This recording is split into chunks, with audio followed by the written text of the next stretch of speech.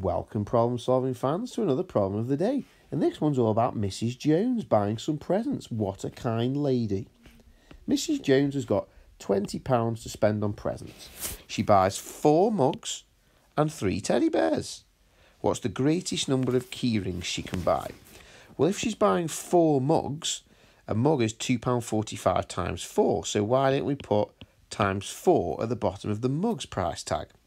And she's buying three teddy bears, so we want £1.80 times 3. Now that's the information we've got to go on so far, so why don't we work that out? So 4 mugs is going to be £2.45 times by 4. Quick column method and we should have that. So 4 times 5 is 20, put the 0 in, carry the 2. And 4 times 4 is 16, plus the 2 is 18. Put the 18, carry the 1. 4 times 2 is 8, plus the 1 is 9. So that's £9.80. So she basically spends £9.80 on mugs. Next, we're going to get three teddy bears. So that's £1.80 times by 3. So 3 lots of nothing is nothing. 3 lots of 8 is 24. Put the 4 in, carry the 2. 3 lots of 1 is 3, plus the 2 is 5. So she's spending £5.40 on teddy bears. £5.40 on teddy bears, there we go. And we've got to work out what the greatest number of keyrings she can buy. Well, we know that she had £20 to spend, but what we need to do next is figure out how much she's actually spent so far. So if we add together the £5.40 and the £9.80, let's see where that takes us. £5.40 add £9.80. This will tell us how much she spent so far. 0 plus 0 is 0. 4 plus 8 is 12. Put the 2 in, carry the 1. 5 plus 9 is 14. Plus the 1 I've just carried is 15. So that's going to be £15.20. So she has spent £15.20 so far. So we need to figure out how much she's got left to spend on key rings. Well, she started with £20 and she spent £15.20.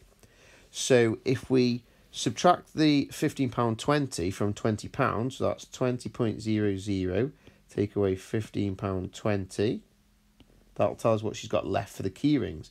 0 take 0 is 0. 0 take 2 we can't do. So we borrow from the 0, but we can't borrow from the 0 because there's nothing there. So we need to borrow from the 2. Borrow from the 2 and that becomes a 1. And the 1 we've borrowed makes this 0 into 10. Borrow from the 10 and that becomes 9. And the 1 we borrowed makes this 0 into 10. Now we can carry on. 10 take away 2 is 8. 9 take away 5 is 4. 1 take away 1 is nothing. So it's £4.80 left. So she's got £4.80 left for the key rings. Now we are running out of space. We do have one more step to do, and that's find out how many keyrings she bought with £4.80. So we're just going to rub a little bit out and make some space. So finally we need to figure out how many keyrings she can buy for 95p each in four, with £4.80. So in other words, how many 95p's go into £4.80? Now the easiest way probably to do this is just to count up in 95p's. So one lot of 95p would be 95p. Now, two lots of 95p, we could just, instead of adding on 95p, we could add on a pound and then knock 5p off, because obviously a pound would be 5 pence too much.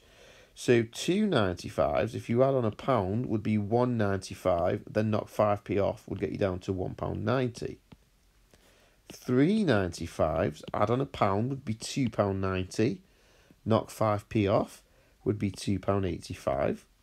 Four 95s, add on a pound, would be £3.85. Knock 5p off would be £3.80. And five 95s would be £4.80. Knock 5p off would be £4.75. Now, we've only got £4.80 to spend, and that just comes to £4.75. So we'd still have 5p left. So the final answer is that is five key rings. So what's the greatest number of key rings she can buy? She could buy five key rings, and that would become four pound seventy-five.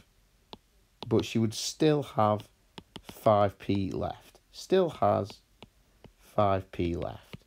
And there's your final answer. She can buy five key rings.